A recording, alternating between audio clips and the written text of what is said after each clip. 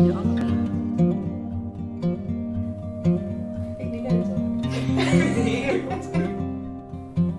Hi, welkom bij Esther Yoga. Met Esther en Chantal.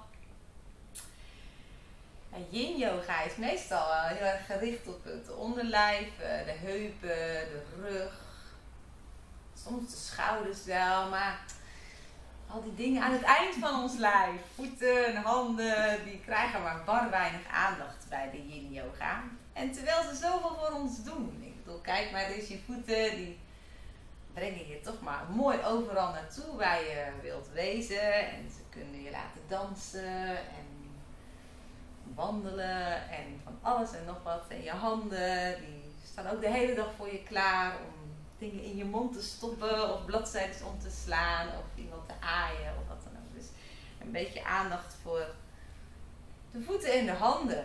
En um, nou, laten we met die voeten maar beginnen. Zijn we daar maar vanaf. Dat is een houding die wij hebben leren kennen als tenenmagie. Toe magic werd die genoemd.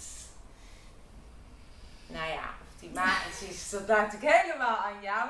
En wat je mag gaan doen is even op je knieën en je komen. En dan krul je je tenen zo naar onder. Zodat je de onderkant van je voeten helemaal oprekt. En dan mag je eens gaan kijken of je zo, je voeten staan op heupbreedte, of je zo met je heupen richting je hielen kan. En of je dan met je volle gewicht op die hielen kan gaan zitten. Er zijn een aantal lijven, misschien dat van jou, die dit totaal niet aangenaam vinden. In dat geval kan je wat naar voren leunen. En dan leun je net zo ver naar voren totdat je zegt, ja, dat is ongeveer wel uh, waar ik het kan hebben, zonder dat het pijn doet, zonder dat ik heel erg hoef te strijden, moet lijden.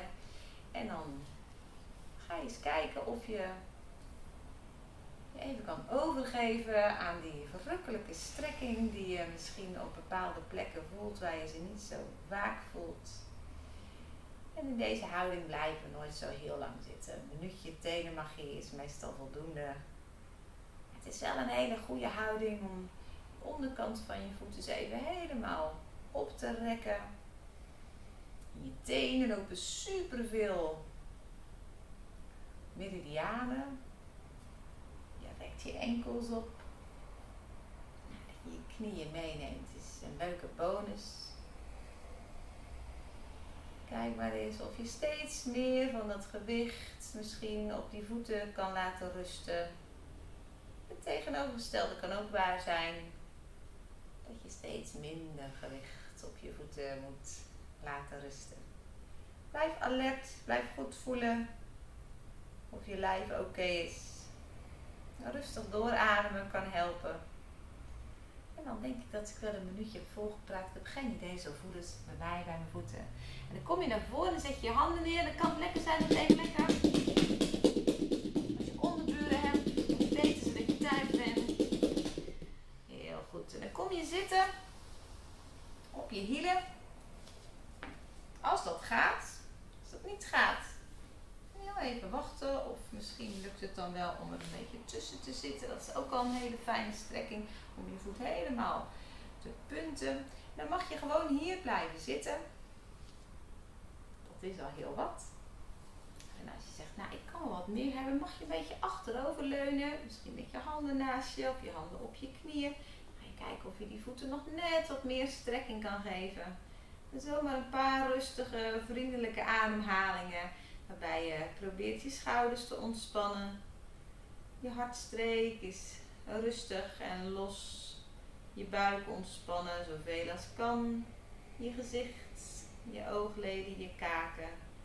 En check gewoon hoe de lol je mondholte is. En kijk eens of je tong ontspannen in je mond rust. Helemaal goed. En dan kom je weer naar voren als je naar achter zat. Of niet. En dan kijk je even of je misschien de boel wil uitstrekken. Eén voor één of alle twee tegelijk.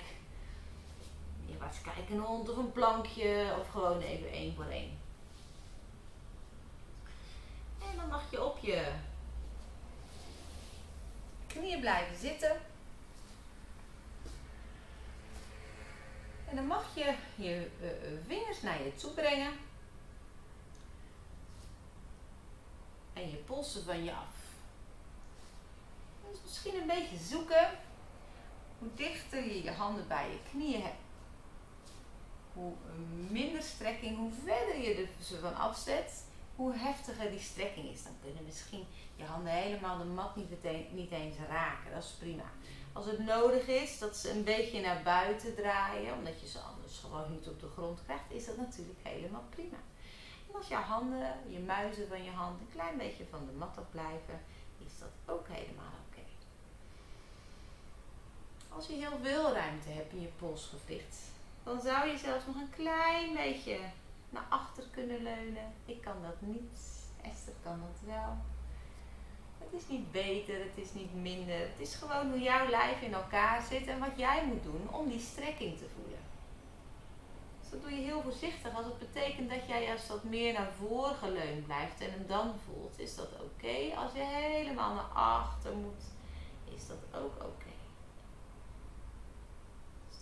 Esther vindt het heerlijk om in een omgekeerde, om in neerwaarts kijkende hond te nou, staan. Heerlijk is wel een heel groot woord. Dat hoor. kan, sommige mensen vinden dat. Dan til je je knieën op en dan probeer je je borst wat richting je bovenbenen te krijgen. Dan adem je rustig door.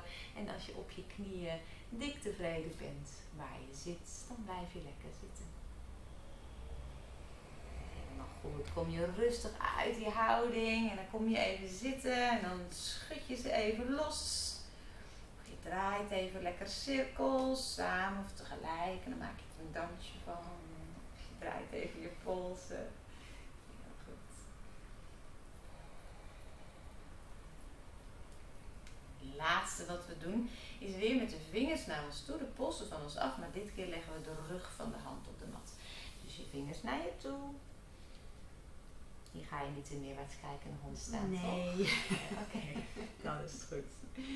Ook hier, probeer maar. Voel maar, waar moeten ze staan? Wat meer naar voren, wat dichter naar je lijf toe.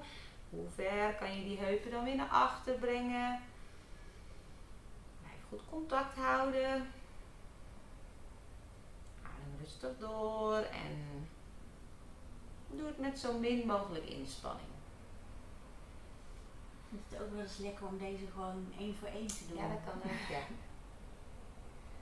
vind het lekker om een beetje te wiegen. De ene naar de andere kant. Als je nou zegt, nou dit vind ik heel erg lekker om te doen met die pols als ik zo zit, dan mag je dat best even aan ons laten weten hoor. Wij leren ook graag nieuwe fijne dingen. dan kom je overeind en dan schud je weer je polsen even los. Ruimte. Alles op polsen. Nou, en dan kan je gewoon weer fijn verder met je dag op je sluit hem af. Super leuk dat je even met ons meedeed. Heel graag tot de volgende keer. Dankjewel. Namaste.